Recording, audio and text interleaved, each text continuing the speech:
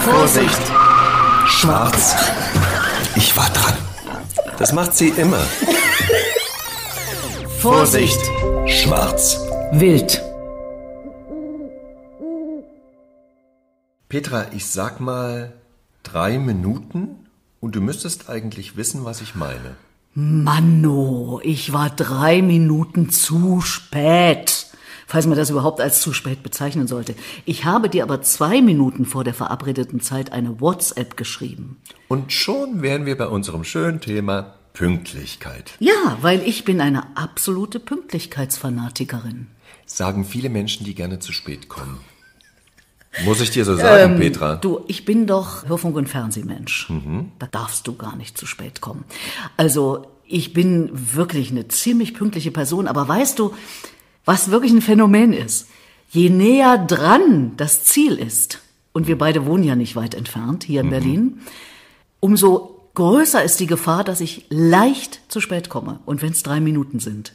Weißt du warum? Weil ich denke, ist ja um die Ecke. Ja, deswegen, wir wissen ja eigentlich, wenn wir in Berlin uns auf den Weg machen, egal wie weit es ist, nimm immer eine Stunde. Also ich denke mal eine halbe Stunde. Okay, bei mir ist es eine Stunde. Eine Stunde, da, ja, da bist du dann eben überpünktlich am Ziel. Ich habe ein ganz anderes Problem, Petra. Schön, dass wir endlich mal drüber reden. Ich wollte ein Leben lang mit dir darüber reden. Ich bin verfrüht. Der zu früh gekommene Held? Ja, in allen Lebenslagen. Immer zu früh, aber da kann sich jetzt jeder seinen Reim drauf machen. Ich bin die Person, die meistens unten im Auto sitzt und die zehn Minuten noch wartet, weil ich weiß, zu früh kommen ist nicht gut. Wird von vielen Menschen als, du kannst ja jetzt nicht zehn vor drei bei mir schon klingeln, weil ich bereite mich noch vor. Deswegen warte ich immer im Auto. Also wenn Sie ein Auto am Straßenrand sehen und da sitzt ein trauriger Mensch und guckt auf die Uhr, das bin ich. Ich warte, bis es soweit ist und dann klingel ich und meistens werde ich mit dem Satz begrüßt, pünktlich wie die Maurer. Das kenne ich auch, ja, Warum ja. sind Maurer pünktlich? Habe ich keine Ahnung, wo das herkommt. Wahrscheinlich ist das eher mit dem Augenzwinkern gemeint und gar nicht pur. Nee. Ich glaube, die Handwerker kommen eher ein bisschen später. ja, oder gar nicht. Oder gar nicht. und insofern. Bekommst du heutzutage noch einen Handwerker? Nee, brauche aber auch keinen. Ach, Wofür? Man hat doch immer mal was zu reparieren. Aha. Ja. Was hat man denn so zu reparieren? Auch Frau hat zu reparieren. Hm, hm, hm. Also alle haben zu reparieren. Ich weiß nur, natürlich, Handwerker können ja auch zu spät kommen, weil man ist ja froh, dass man überhaupt den Termin bekommen hat. Aber lass uns doch noch mal zu dieser doch gewissen Penetranz kommen, was Pünktlichkeit betrifft. Mhm. Du hast mir neulich erzählt, ich sage jetzt keine Namen, ja, die kam Stunden später zum vereinbarten Termin. Mhm. Ja. Aber zu dir nach Hause. Das Ja. heißt, da passiert doch an sich nichts. Und Stunden waren es bestimmt auch nicht. Du warst es nicht. Ja, ich Deswegen- weiß. Ich komme ja höchstens drei Minuten zu Ja. Mhm. aber ich muss dir sagen, ob ich nun zu Hause bin oder wo auch immer, wenn ich im Wartezustand bin, kann ich nichts anderes tun. Ich kann nicht noch ein Buch lesen oder auf dem Handy datteln, weil ich bin ja immer ständig in dieser Erwartungshaltung, es klingelt gleich. Deswegen nervt man mich völlig mit zu spät kommen, weil ich bin bereit, das Gespräch könnte losgehen. Ich habe schon ein erstes interessantes Thema. Ich habe mich auch nett angezogen, habe mir die Haare mal ein bisschen gekämmt. Aber dann geschieht das nicht. Und es ist wie eine nicht genutzte Zeit, die einfach so äh, vorbeiläuft. Was du gerade sagst, müsste an sich aus meinem Mund kommen. Weil ich habe ja einen Dozentenvater gehabt und eine Hauptbuchhaltersmutter. Und das ist drin. Also sehr pünktlich sein, alles immer so erledigen, wie man es erwartet oder wie man sich selber das Ziel gestellt hat und, und, und, und, und. All diese Tugenden, man könnte ja, Ja. auch sagen, Pünktlichkeit ist eine Tugend. Und doch ist auch inzwischen die andere Seite in mir, dass ich sage, ach komm, sei nicht so verbissen. Wenn es ein paar Minuten später ist, ist doch nicht so schlimm. Was du gerade sagst, da habe ich mich erinnert, äh, jetzt in Vorbereitung auf diesen Podcast. Die Vorbereitung ist mangelhaft, ich habe kein Buch und nichts, aber Sie hat immerhin, ganze drei Zeilen ausgearbeitet. Darf ich ganz kurz auf deinen Zettel mal schauen? Wir haben angefangen, da kamst du mit zehn Büchern, einer Ja, Bibliothek und sagst, Willi, ganz kurz mal Stopp. Ich muss hier nochmal auf Seite 99 gehen. Folgenden schönen Satz habe ich da gefunden. Und jetzt kommst du Ja. mit drei hast du die in den drei Minuten, die zu spät gekommen bist, Ja, ungefähr aufgeschrieben? so. Ungefähr so, ungefähr so. Und als ich das tat, erinnerte ich mich an einen lieben Kollegen. Ja. Der ist so ein Urgestein hier im Fernsehen in Berlin, im öffentlich-rechtlichen. Wir haben zwölf Jahre zusammen Sendung gemacht und da gab es natürlich immer eine Vorbereitungssitzung mit der Redakteurin und noch dem Regisseur und so. Und wir waren zu einer gewissen Zeit verabredet und dieser liebe Kollege kam nicht selten wirklich eine ganze Stunde zu spät. Ich bin im Quadrat gesprungen, weil genauso wie du es gerade gesagt hast, meine Zeit geht verloren, die Zeit der anderen geht verloren. Das finde ich auch überhaupt nicht schön und heute lächeln wir darüber, weil das alles schon so lange her ist. Und äh, wir können auch über andere Verbissenheiten, äh, er ist Westmensch, ich bin Ostfrau, wir haben da uns auch gerne gekappelt, was das betrifft, verschiedene Sichten auf die Dinge. Heute können wir darüber lachen und vielleicht können wir darüber lachen, weil wir beide älter geworden sind, also ihm war es ja eh schon wurscht, aber mir war es eben früher nicht so wurscht und es ist mir auch heute nicht wurscht, aber sagen wir mal so, wegen ein paar Minuten diese Erwartungshaltung habe ich nicht, dass die Menschen auf die Sekunde kommen. Also es sei denn, es ist ein Interview live oder sowas, da muss natürlich der Mensch neben mir stehen, im Radio oder vor der Fernsehkamera. Aber äh, ansonsten, du, ich kann in der Zeit dann was machen. Ich kann dann schnell noch eine WhatsApp schreiben oder irgendwas. Da scheinst du doch irgendwie etwas fixierter zu sein auf diese Sache. Ja, ja, verkrampft, ja. Ja, ja, sicher, sicher. Also ich, ich kann das eben nicht.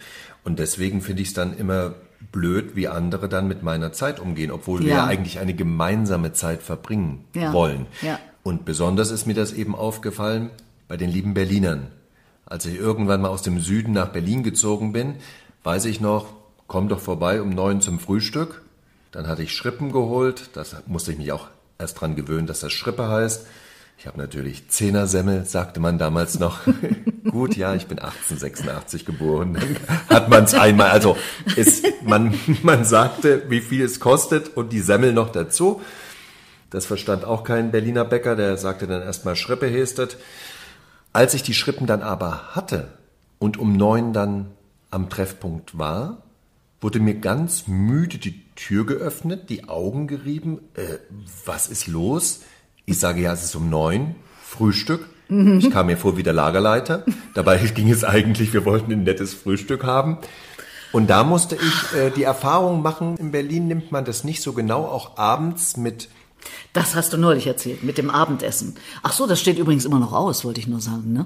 Ja, Die Einladung an mich. ich habe nur jetzt etwas Angst, dass du dann wieder zu spät kommst. Willi, ich, Ich werde mach früher alles. da sein. Ich werde definitiv. Das bitte ja auch nicht. Da Ach hatten wir ja Gott, gerade das nur darüber gesprochen. auch. Dann bleib doch bitte unten in deinem Auto sitzen, warte bis es um sieben ist. aber ich abends. könnte doch noch helfen bei den letzten Verrichtungen. Nein, nein, nein. Ich habe dich ja eingeladen. Na ja. Nein, wenn du eingeladen Manno. bist, bist du eingeladen. Bei den Abendverabredungen in Berlin ist es ja so, mach nie irgendwas 20 Uhr, 21 Uhr in Berlin aus. Das hat überhaupt gar keinen Sinn.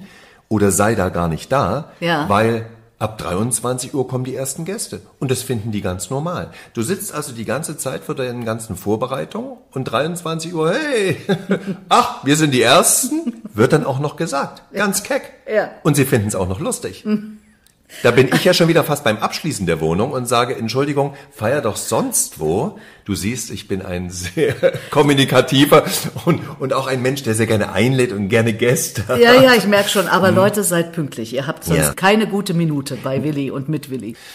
Also mit der Pünktlichkeit, das betrifft ja wirklich viele, viele Leute und es ist ja immer wieder Thema, nicht nur bei Willi. Da gibt's ja sogar Sprichwörter. Kennst du dieses Sprichwort? Pünktlichkeit ist eine Zier. Und wenn man Verona Poth wäre, würde man sagen, besser geht es ohne ihr.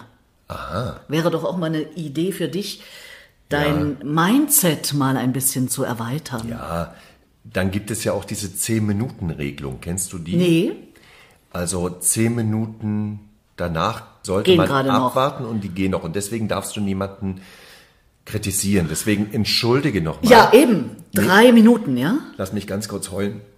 Entschuldige, Petra. Ich habe das wirklich nicht so gemeint. Und diese drei Minuten, ich weiß auch gar nicht, warum ich so pingelig gewesen. Vielleicht ist es die Hitze heute Du sag's gewesen. ruhig nochmal. Sag's ruhig nochmal. Entschuldige, drei- Petra, es waren drei Minuten. Ja. Und da ich jetzt ja gerade sage, zehn Minuten wären noch okay, bitte ich dich einfach nur, das nächste Mal nicht zehn Minuten auszuschöpfen. Aber die drei Minuten nehme ich dir nicht übel. Sei mir doch wieder lieb. Sei mir wieder gut. Willi, ich versuche das. Aber das ist wirklich interessant, dass ich jetzt hier die andere Rolle einnehme, in Anführungszeichen. Weil genau genommen bin ich in der Auffassung du. Also ja, ich bin auch im Grunde meines Herzens so ein bisschen verbissen, Genauigkeit. Ja. Es muss genau genommen alles immer so laufen, wie ich das gerne hätte. Ich habe übrigens auch einen sehr, sehr genauen Plan für mich immer, an jedem Tag. Du kennst meinen Organizer. Ja. Da steht alle halbe Stunde spätestens was drin, wenn nicht enger getaktet. Den habe ich ja nicht, weil ich mir alles Du hast das alles im Kopf, frei genau, im Kopf genau. Habe. Aber ich brauche das auch. Ich gucke da mehrfach am Tag drauf Aha. und ich gucke immer abends oder nachts, bevor ich dann ins Bett gehe, gucke immer drauf und vergewissere mich nochmal, ob ich richtig im Kopf habe. Ich habe das natürlich auch irgendwie im Kopf, aber ob ich es richtig im Kopf habe und äh, baue manchmal auch noch um. Petra, was würde passieren, wenn diese Organizer plötzlich gelöscht, Handy weg, ist ja sowieso ein Drama für das wäre viele, ganz viele schrecklich. Menschen. Das wäre ganz schrecklich. Aber dann habe ich zum Glück das Duplikat auf meinem Laptop. okay, Laptop nehmen wir dir auch noch weg. Was passiert mit dir oder was passiert mit deinem Kopf, wenn du nicht mehr die Schritte ablesen kannst, wenn du dich nicht mehr vorbereiten kannst, wenn du dich nicht nachbereiten kannst, wenn das plötzlich nicht mehr da ist? Das wäre ganz grausam. Weil? Mein Lebensentwurf, der ein sehr geplanter ist, total durcheinander geraten würde. Aber vielleicht würde auch was ganz Wunderbares passieren. Man weiß es nicht. Ja, du weißt es nicht, Petra. Ja. Wir sollten es mal probieren. Mathe, da liegt dein Handy, da ist dein Laptop. Stimmt. Mensch, ich kann sie gar nicht mehr wiederfinden, die beiden Sachen. Aber das wäre doch mal interessant, das auszuprobieren. Man kann es ja im Urlaub ausprobieren, obwohl das ist dann immer so, hm, ich denke, man muss es echt ausprobieren. Im richtigen Leben. Im richtigen Leben. Also für mich wäre das ganz schrecklich und deswegen hoffe ich, dass es nie eintritt. Ja, und ich bitte dich das nächste Mal einfach pünktlich zu sein. Diese Pünktlichkeit wurde mir ja auch erst anerzogen. Mhm. Es ist ja nicht so, dass ich von Natur aus pünktlich wäre. Aha. Aber ich musste sie mir während des Studiums, Schauspielstudium, deswegen bin ich später Schauspieler geworden, irgendwo ganz logisch, da hat man uns halt beigebracht, dass es gerade in unserem Beruf nicht geht, weil die Leute haben bezahlt, die sitzen pünktlich drin, um acht muss der Vorhang aufgehen, aber auch beim Dreh. Zwar wartet man am Drehort manchmal einen ganzen Tag, um seine zwei Sätze zu sagen. Anderes Thema. Mhm. Aber Hauptsache, man ist pünktlich früh in der Maske. Mhm. Und man ist schon drehbereit am Drehort. Und da habe ich das gelernt. Auch wenn ich jetzt war ich auf Theatertournee, nimm zwei Züge eher. Bei der Deutschen Bahn kann ich nur sagen, was ich letztes und dieses Jahr erlebt habe. Nehmen Sie zehn Züge eher. Mhm.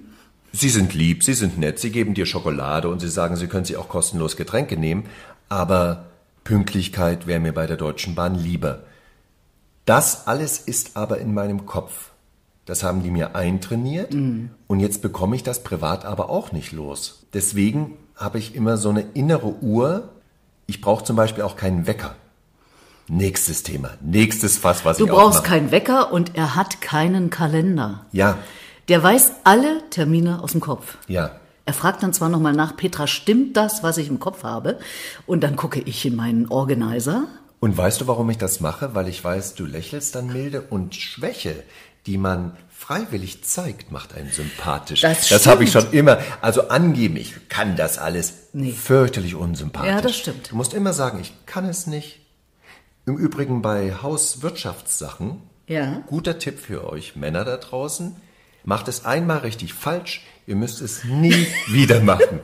So mache ich das schon seit Jahren. Ja. Ich lebe sehr gut damit. Mhm, Hände weg von der Wäsche, schreit es hier in der Wohnung. Es ist doch toll. Wir geben hier auch ganz praktische Tipps, wie man merkt, fürs Leben. Natürlich. Die einfach fürs Leben sind. Du, in meinen drei Zeilen, die ich aufgeschrieben habe, sind übrigens vier. Ja, äh, so viel Genauigkeit. Du merkst, jetzt kommt doch die Buchhalter. Drei Minuten zu spät raus. und vier Zeilen. Vier Zeilen. Wahnsinn. Steht übrigens äh, das Kürzel DB was für Deutsche Bahn steht. Du mhm. hast es schon angesprochen. Und das mache ich auch. Also ich bin da so ein Sicherheitsmensch, dass ich sage, ich kann mit der Bahn nicht so fahren, dass ich eine Stunde vorher da bin, weil es könnte ja sein, dass die Bahn erst drei Stunden später ankommt. Ich fahre in der Regel sogar, wenn ich einen Auftrag irgendwo habe, am Tag vorher. Also wenn das vormittags losgeht, ist mir das zu heiß. Das kann ja sonst was passieren. Also muss ja nicht immer an der Bahn liegen. Dann kommen ja die schönen Durchsagen. Wie heißt das immer, wenn sich einer vor den Zug geschmissen hat? Personenschaden? Ja, Personenschaden weiß ich jetzt gar nicht. Das deutet ja schon sehr darauf hin. Also es ist irgendwas auf den Gleisen passiert. So irgendwie gibt es da so eine verklausulierte Formulierung. Die beste Durchsage, die es jetzt bei der Deutschen Bahn gibt, vergiss deinen Gedanken nicht, ist, das Team, was hier in Hannover den ICE übernehmen soll, ist in einem verspäteten ICE und kommt deswegen anderthalb Stunden später und deswegen ist der pünktliche ICE plötzlich in einer anderthalbstündigen Verspätung. Hast du da noch Gedanken für? nee, das ist nicht wirklich schön. Das geht nur, wenn du äh, in Richtung Heimat fährst. Ich war neulich in Köln und äh, habe grandios versagt in einem Quiz. Aber das nur am Rande. Und dann war ich zum Glück auf dem Rückweg und äh, lernte da eine lustige Männerrunde kennen, die irgendeinen Riesenauftrag an Land gezogen hatten. Ihr und habt Alkohol getrunken. Ja, ich habe dann tatsächlich auch mal einen Schluck Alkohol getrunken, obwohl ich solche Menschen in Zügen ätzend finde. Ja, aber ich gehörte mal da kurz dazu. Sie haben dir Alkohol ausgegeben. ein Glas Wein, ja, also mehr war es ja gar nicht. Und dieser Zug strandete in Gütersloh. Und zwar strandete er, weil der Zug vor uns Treffen wir uns nirgendwo, so treffen wir uns in Gütersloh. Genau, der Zug vor uns hatte ein Problem. Und also standen wir in Gütersloh am Gleis. Und das war ganz entspannt, weil ich fuhr zurück nach Berlin, es war äh, am Abend und ich hatte keinen Termin. Dann lässt du dich auf Verspätung ein, dich von fremden Männern zum alkoholischen Getränk Genau, einladen genau. und stehst in der lauen Sommernacht in Gütersloh auf einem Bahnsteig und findest das richtig toll. Super. Aber ich habe natürlich jetzt ein Bild im Kopf, wie du mit wildfremden Männern und einem ausgegebenen Weißwein Nein, es war roter. im Sommer, in Ja. der lauen Ja, Sommernacht, das war egal. ich sage nur Rotwein und laue Sommernacht. Mhm. Stehst du in Gütersloh auf dem Bahnhof und findest das plötzlich Ja, schön. Und weißt du, was das Verrückte war? Danach mussten wir ganz schnell raus aus dem Zug. Ein anderer kam, der auf dem anderen Gleis war und uns eingesammelt hat. Also das war dann eine ganz schöne Aktion. Also ich habe jetzt nicht nur Wein getrunken, ich habe auch gearbeitet, wahrscheinlich mich auf einen unserer Podcasts vorbereitet. Also schnell den Computer einpacken, allen möglichen anderen Kram fassen, den Rest Wein in die Hand und dann in den anderen Zug. Hat aber geklappt. Willst du mir jetzt gerade sagen, wenn man nicht pünktlich ist, kann man was erleben? Kann sein. Sollte ich einfach mal nicht pünktlich sein?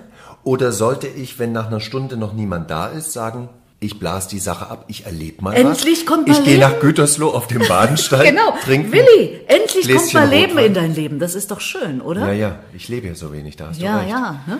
weil du eben hier sitzt und darauf Warte. beharrst, dass die anderen pünktlich zu sein Ja. haben und sie sind aber unter Umständen nicht Ja. pünktlich. Guck mal, was wir für Erkenntnisse durch diesen Podcast gewinnen. Wir selbst auch. Weiß jetzt gar nicht, wer gegen vier kommt. Vorsicht! Schwarz! Ich war dran. Das macht sie immer. Vorsicht! Schwarz! Wild.